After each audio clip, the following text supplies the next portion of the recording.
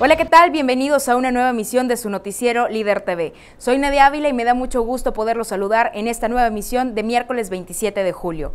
Los invito a conocer la información más precisa y oportuna del acontecer local, estatal, nacional e internacional. Comenzando con la información de mi compañero Daniel Sandoval, ayer martes por la mañana familias de escasos recursos recibieron los apoyos económicos del programa del gobierno federal denominado Oportunidades, que comprende el bimestre marzo-abril. En esta entrega se vieron beneficiadas un total de 274 personas. El presidente municipal Benjamín Galván Gómez precisó que con la entrega de 274 apoyos de oportunidades a los habitantes de ejidos de Nuevo Laredo adscritos a ese programa federal, se cumple una importante tarea en la procuración de una mejor calidad de vida. El alcalde destacó que los apoyos es cada uno por un monto de 1.250 pesos y que corresponden al bimestre de marzo y abril. Pasando ahora con la información de Perla Martínez, en lo que va del año se tienen registradas 400 solicitudes para la adquisición de una casa por parte del Instituto Municipal de Vivienda y Suelo Urbano, de las 500 viviendas populares que serán construidas por el gobierno del estado. Carlos Cantú Rosas, titular de este instituto, señaló que posiblemente para octubre o noviembre se iniciará con la urbanización de los terrenos en donde irán asentadas las casas, cuya inversión será de 25 millones de pesos. Para adquirir una casa usted puede acudir al instituto y llenar una solicitud para el estudio socioeconómico, llevar la credencial de elector, acta de nacimiento, comprobantes de domicilio, de trabajo y de dependientes económicos si es que los hay, así como acta de matrimonio si están casados. Para mayor información sobre los diferentes trámites que se realizan, los interesados pueden acudir a Avenida Guerrero 1500 con un horario de 8 de la mañana a 4 de la tarde. Para estar en contacto con nosotros nos puede llamar a la línea líder, el número es el 711-2222 o bien nos puede contactar a través de las redes sociales, en Facebook nos encontrará como líder Laredo y en Twitter nuestro usuario es líder-web, así que aquí estaremos al pendiente de todos sus comentarios y sugerencias. Continuando ahora con la información de Erika Morales, el arribo de paisanos no ha sido como el año anterior, ya que los números que arroja aduana da a conocer que a pesar del inicio del programa paisano, no ha sido tan numeroso las personas que quieran ingresar a territorio mexicano. César Montoya, subadministrador de la aduana del Puente 2, explicó que en lo que va hasta el pasado domingo 24 de julio han otorgado por esta frontera 7.806 permisos de internación para paisanos, Agregó que tan solo el 2 de julio fue cuando repuntó el número de permisos, entregando 973 frente al año pasado, el mismo día en donde se otorgaron 793. En cuanto a las cancelaciones de permiso, hasta el 24 de julio se han otorgado 8.419, mientras que en el mismo mes de julio del año pasado fueron 12.555 cancelaciones. En otras noticias, con la información de Daniel Sandoval, según pronósticos emitidos por el Departamento de Protección Civil local, las altas temperaturas continuarán en los próximos días, mismas que rebasarán los 40 grados centígrados durante el día, mientras que por la noche permanecerán alrededor de los 26 grados. Ante ello, se exhorta a la ciudadanía a tomar sus debidas precauciones.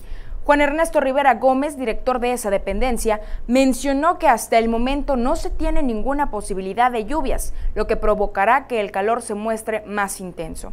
El funcionario agregó que se esperan todavía muchos días con temperaturas de alrededor de los 42 grados, lo que puede provocar golpes de calor o deshidrataciones, sobre todo en menores de edad y personas adultas. Entre las recomendaciones que hizo se encuentran las de vestir con ropa clara y de preferencia cubrirse la cabeza con una gorra o sombrero, usar bloqueador solar y mantenerse bien hidratados, sobre todo estar al pendiente de los niños y adultos mayores, que son los grupos más vulnerables.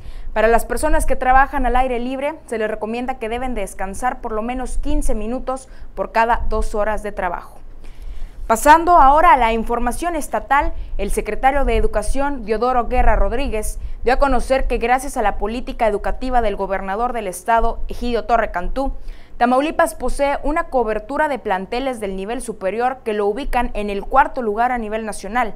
La entidad cuenta con una cobertura de 94 instituciones de educación superior que se reflejan en 193 planteles, mismos que ofrecen 1.230 carreras profesionales para la comunidad estudiantil de Tamaulipas. En este indicador, Tamaulipas solo es superado por el Distrito Federal, por Nuevo León y Sonora. Es pertinente destacar que la población demandante de educación superior en las dos primeras entidades es mayor que en las que se ubican en los lugares tercero y cuarto. En otro tipo de información, recientemente la titular de la Secretaría de Desarrollo Social de Tamaulipas, Dinora Blanca Guerra Garza, se reunió en Ciudad Madero con más de 30 representantes de organismos no gubernamentales como parte inicial del trabajo de organización para involucrarlos en estrategias que el gobierno del Estado diseñó para el combate de la pobreza. La funcionaria expuso la importancia que tienen para el gobernador Ejido Torre Cantú las organizaciones de la sociedad civil, a las que apoyará para que continúen con su labor humanista que contribuye día a día al fortalecimiento de la entidad. La secretaria reconoció a los asistentes como grupos cercanos a la comunidad y conocedores de sus carencias, motivo por el cual los invitó a participar con la Administración Gubernamental 2011-2016 en acciones que se deban, se requieran y se deseen hacer para lograr un Tamaulipas más fuerte. Los invito a que formen parte de la programación de Líder TV. El día de hoy les recomiendo que no se pierda a las 3 de la tarde el programa Meta con la conducción de mi compañero Justino Silva, quien tendrá como invitado al campeón mundial en peso supermosca. Él es José Matador Cabrera y a lo largo del programa conoceremos de su historia, su trayectoria y sus proyectos. De igual manera, a las 5 de la tarde no se pierda el programa Líderes con la conducción de Marco Martínez y tendrá como invitado a Roberto Gómez Zapata, subdirector de Ecología y Cambio Climático. Estos y el resto de nuestros programas los podrá ver a través de nuestro canal en Ustream, el cual es Líder Informativo TV, y a través de nuestro portal www.liderinformativo.com. ¿Qué les parece si ahora vamos a conocer la información nacional? La Secretaría de Salud Federal está a la espera de 3 millones de dosis para combatir el sarampión en toda la República Mexicana. Estas dosis son para los 2.5 millones de personas que se encuentran dentro del grupo de riesgo al no tener una segunda dosis contra el virus de sarampión. Los adolescentes de más de 12 años y los adultos menores de 39 son los más vulnerables, por lo que la vacuna se está aplicando principalmente a este grupo. Sin embargo, también se está solicitando a los padres de familia revisar las cartillas de vacunación de sus hijos para así poder verificar que cuenten con la vacuna y el refuerzo que se aplica en el primer año de vida y posteriormente a los seis años. Mauricio Hernández, subsecretario de Promoción y Prevención de la Salud, indicó que las vacunas continuarán aplicándose en el Distrito Federal y la terminal aérea durante los 42 días siguientes como parte del cerco sanitario instalado por la Secretaría de Salud luego de que una pequeña de nueve años y nueve meses trajera la enfermedad de Francia en un viaje a nuestro país. En más información, un sismo de 5.9 grados en la escala de Richter se produjo en la región de Baja California el día de ayer, así lo informó el Instituto Geológico de Estados Unidos. El sismo tuvo un epicentro a una profundidad de 10.2 kilómetros en el mar de Cortés y se localizó a 87 kilómetros al sudoeste de la localidad de Los Mochis en Sinaloa y a 1093 kilómetros al sureste de Tijuana. Fuentes del sismológico explicaron que el temblor, con una profundidad de 10 kilómetros, no tiene capacidad para generar un tsunami, dado que el fondo marino se mueve lateralmente. El sismo se produjo en la frontera entre las dos grandes placas que se encuentran en la zona, la del Pacífico en la franja de la península de Baja California y la de Norteamérica, que está del lado continental. En el acontecer internacional, el presidente estadounidense Barack Obama advirtió que Estados Unidos enfrenta el riesgo de una profunda crisis económica si el Congreso fracasa en elevar el techo de endeudamiento en nueve días más.